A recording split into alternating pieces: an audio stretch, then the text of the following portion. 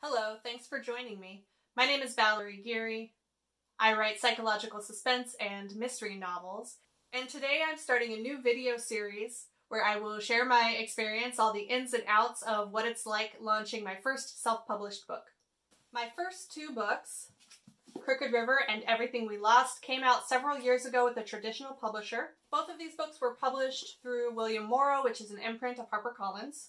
This month, in about three weeks, I will be launching my third book, On a Dark Tide, which, for reasons I will explain in a later video, I have decided to self-publish. When it comes to book launches, I like to think of it as a spectrum. On one end, you have what I like to call the Blitz launch.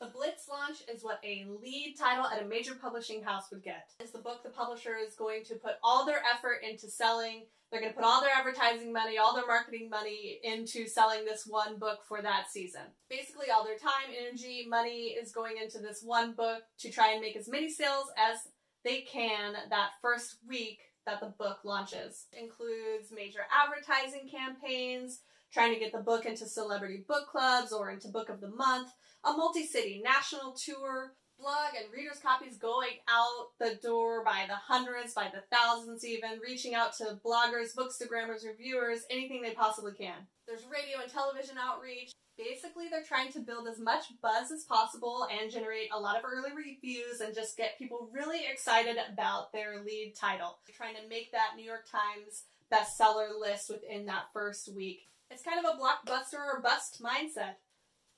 That's one end of the spectrum.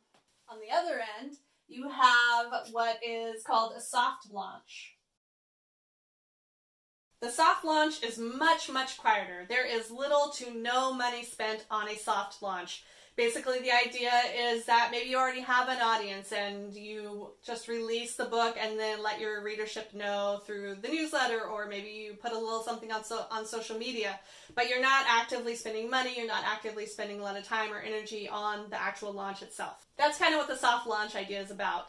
Just putting the book out into the world with little fuss, little fanfare, and just kind of seeing what happens most likely you're not going to hit any kind of bestseller list unless you already have like a really big audience, a really large reach within your newsletter.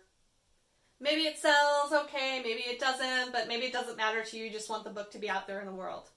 There are, of course, a lot of different ways you could launch a book in between both of these extremes. You can do a little bit more than just dropping the book on Amazon. You can do a little bit less than, you know, going broke to try and launch your book.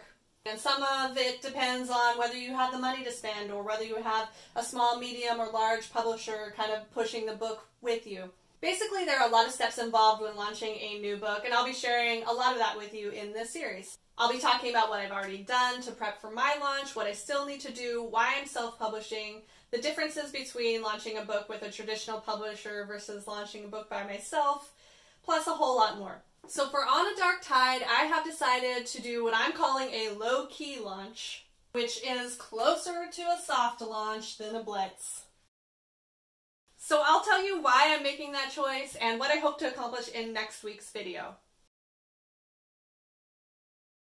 I think I should preface this series by saying that I am not a book marketing expert. Not even close. I'm an author who has launched two books with a major publisher and is now launching her first book as an indie author. I'm learning as I go. And that's what this series is going to be about. It'll be a behind the scenes look at one indie author launching her first self published book. I'm not going to be giving you any magic words or any special formula or like a guaranteed way to sell books. I don't even know if any of my books are going to sell. So I'm making you no promises, and honestly, this series might just be you watching me fail, which could be fun for one of us. So here's how this is going to work. I will be posting how to launch a book videos on Tuesday. I'm planning for the series to run about eight weeks. I'll take you along with me in the days leading up to the release and in the days after the release and kind of share my experience with you, what I'm doing, what I'm not doing, why I'm doing it, how I'm doing it, the mistakes I made, the successes, the lessons I learn along the way. I'll talk about things I would do again, things I wouldn't do again. I'll talk about kind of the differences between launching a book with a traditional publisher versus launching a book by myself. I'll do my best to be as honest and transparent as possible with you. whether you are a writer who is also looking to launch a book, or maybe you're just interested in the behind the scenes of how authors make a living. If you have any questions during this series, please feel free to ask them either in the comments of the videos or shoot me an email, and I'll try to answer as many as I can. In addition to this low key launching a book series, I'll also continue posting more reading related videos on Fridays, such as like monthly wrap ups and my TBR jar reading vlogs. So if you don't care about the writer side of my world, feel free to tune in just on Fridays for those reading related videos. As of the day that this video is posting, I have three weeks to launch this book, so I'd better get busy.